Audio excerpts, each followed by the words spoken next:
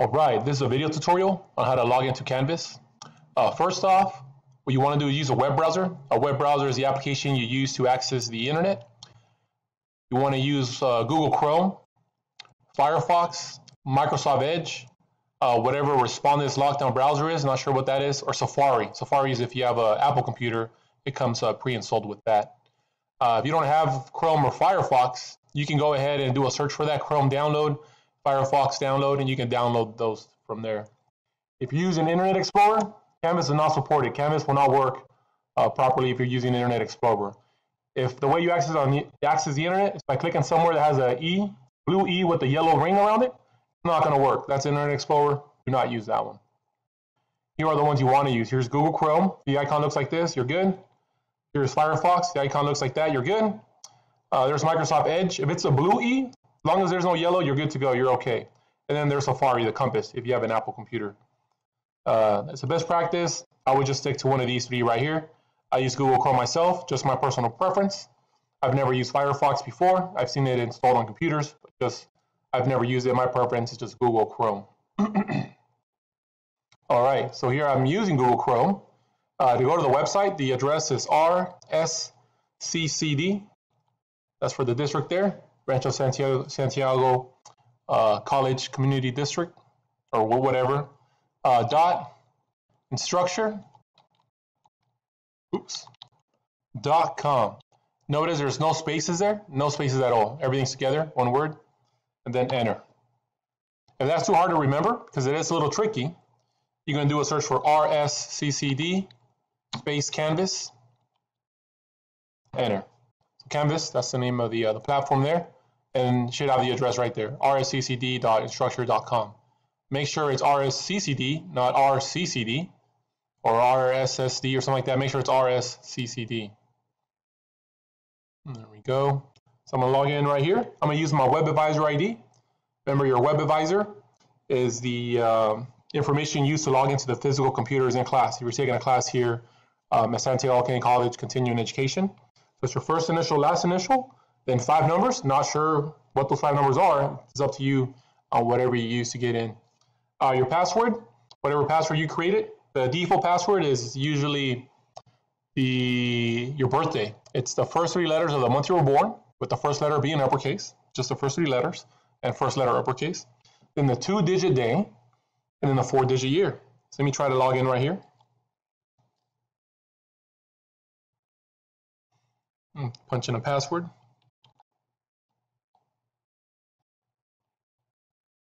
And then click login.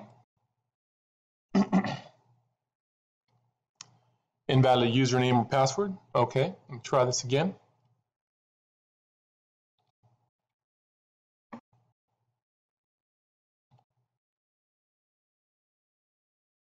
All right, here we go. Uh, so just like that, I got an error and I just tried it again. Maybe I typed something in there wrong. Uh, acceptable use policy. Accept, acceptable use policy. Either you're a new user or the acceptable use policy has changed since you last ag agreed to it. Please agree to the acceptable use policy before you continue. All right, agree. You can read it, but so this is my uh, my Canvas account. Maybe yours um, only has one class in there. Might have more. These are a bunch of classes that um, that I teach and that I'm uh, also enrolled in or was enrolled in. Uh, to the left, I can click on account and get information on myself. It's currently the dashboard where I select my classes. I can also select them individually through courses. So here they are. Here's my calendar, a to-do list. Here's an inbox, uh, comments, help. I don't really use these down here. I do check my inbox periodically. All right, so courses, go back over to dashboard. So I'm gonna select a class. Let me go with this one here. Intro to keyboarding in basic Windows. You select whatever class you're in. Uh, so this is how I set up my classes. My colleagues, maybe they make them different, but this is my homepage. My homepage should look something like this. There's a banner up top. Uh, tells you what class it is in the banner and down there as well. And these are buttons. You can click on these to navigate through the course. And then down here, I got a footer. All right, so I'm gonna go over to student view so you can see what, uh, what how you guys see instead of me, because um, I've hid all these for you. Uh, these aren't all necessary. It just looks overwhelming, might confuse you. So I just limited you guys to these. All right, student view. There we go. This is my, uh, my student view or your view. Uh, you can click right here and start here, telling you to click there. There you go. So there's the intro page. There's the banner and a video about me. Tells you about me. Uh, services from the school. Late policy redemption. Over to next. So remember, there's only temporary. Uh, syllabus right there. Next. An etiquette policy. So please uh, be polite and professional to your classmates. Academic uh, honesty policy. We're not writing, writing papers here. Uh, or are we? But um, please don't try to plagiarize or steal anybody uh, else's work. Resource pages, a resource page, so Canvas support, academic support, student equity services, uh, video tutorials, how to use Canvas, how to log in. Let's click on next. Here's a discussion. Uh, you can you can get points just by uh, participating in discussion. You can just ask a question here, like, "Hey, how's everybody doing?" You know, uh, does everybody have enough toilet paper? Because I don't. I went to Costco and they're already sold out. Uh, here's Unit One. Here's Unit One. Each of these pages that I'm clicking on, these are all called modules. When you go back to the home page, I'm home right here. So I can click on Start here, and it'll start me on the first module, and I have to progress all the way through. Or if I want to jump through the modules, I can click on Module right here. Modules. Uh, so here's the first unit, Unit 0. There's the welcome, the first one from when you click uh, Start here. But I can individually select these here. Uh, here's one on how to install uh, Microsoft Office 365 free for students using your student email. Uh, there it is. Uh, so there is an assignment. You can get participation points for um, coming into this assignment. Where's the submit button? Oops, forgot to add a submit button. So um, it's supposed to be a submit button. I'll add it in there. Uh, you would click up here in the upper right corner so you can submit your project. Okay, let's say you want to participate by submitting an assignment. You click on assignments here or there if there's a uh, if there's an assignment button there. Uh, depending on my class, there may or may not be an assignment button. If there's not an assignment button there, then there's going to be one up here, assignments. You also find them in the modules. You'll get a list of the assignments that are available. So I'm going to go with the uh, this one right here, installing Microsoft Office 365 free for students. We have a student email here at Santiago Canyon College or Santa Ana College. You can use that email account to create um, a Microsoft Office uh, account and get a free download. It installed on, I think, two PCs. Here's a format for, um, uh, here's a format for your student email. It's your web advisor ID. So the first um, uh, two letters, the first initial, last initial, just how you logged into the class, logged into Canvas. Uh, same way you log into the computers in the physical class. To use that, that, um, that username. And then at student, and depending on what school you go to or what school you signed up at, if you're signing at a college, it's to be sac.edu. But if you're at Santiago Canyon College, it's going to be uh, sccollege.edu.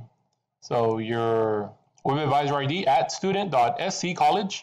Uh, you might be tempted to add an extra C in there. You might miss an L in there. So be careful with that. And your password, same password you use to log into Canvas. Same password you use to log into the computers.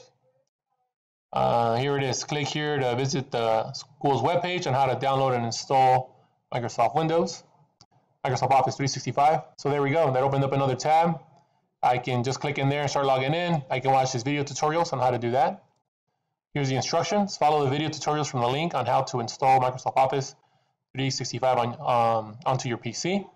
Then click on that. Then you can install it. After installing, um, hit the submit button at the top of the page. So, so all the submit buttons, they're going to be at the top of the page. Oops, I got out of the student view. I'm going to switch back over.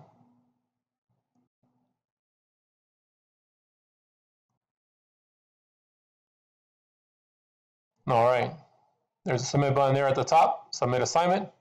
Click on that. Boom, now I got this text entry box here. Uh, text entry box will then appear at the bottom. So having Microsoft Office 365 on your PC, that's for your own benefit. It also uh, will help you participate in the class if you want to do activities. Uh, it gives you more practice because with Microsoft Office 365, you will get Microsoft Word, PowerPoint, Excel, and some other applications as well.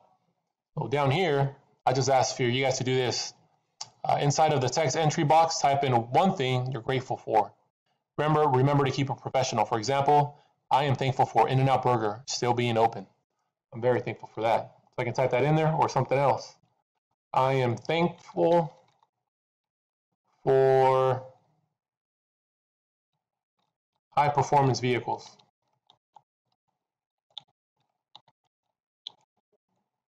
There we go. Then hit submit. Let me scroll down. Submit assignment. Cool. And it's submitted. Submitted. Submission details. Uh, resubmit assignment if you like. So there you go. So I got participation points for that. And go to the next one and see what the next assignment is. There you go. And I can participate that way. Uh, with the discussions, just go over to discussions. And a list of discussions. And click on all sections or um, on that right there. There's a Q&A. See here. Hi. How do I log into Canvas?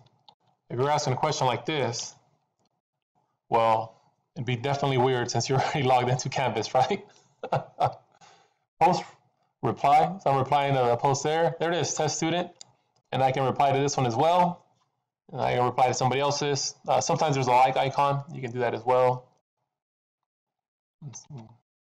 Just visit uh, rscc dot instructure.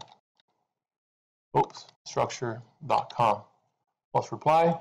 Uh, if you want to know how to upload a picture it's going to be right here. Click on that picture icon embed image. And then you got to go over to canvas. And then click on upload down here it's deactivated for the test one. We click on upload, and then you'll find um, you'll get a file explorer window. You can upload images from your computer. Or you go to Flickr, you can find stuff from there too. Cute puppies. And oops, there we go. Papois, not papois, not sure what that is.